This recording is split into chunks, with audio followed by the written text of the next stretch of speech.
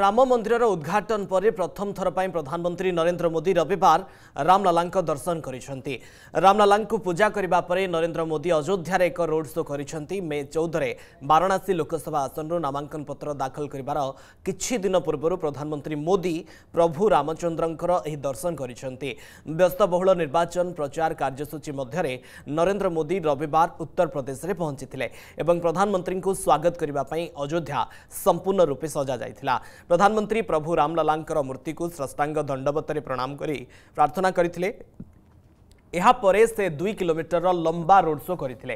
ଯେଉଁଠାରେ ଲୋକମାନେ ନରେନ୍ଦ୍ର ମୋଦିଙ୍କ ଝଲକ ଦେଖିବାକୁ ସବୁଆଡ଼େ ଏକାଠି ହୋଇଥିଲେ जदि आपण को आम भिडी भल लगा तेब आम चेल्क लाइक सेयार और सब्सक्राइब करने को जमा भी बुलां नहीं